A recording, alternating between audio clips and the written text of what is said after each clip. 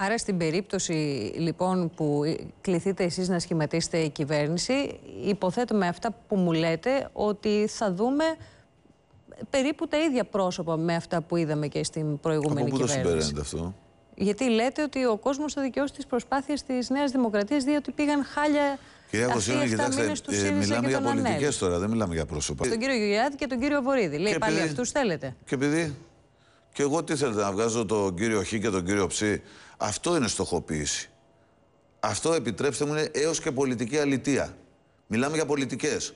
Δεν μιλάμε για πρόσωπα και κακώς αναφέρεται σε πρόσωπα.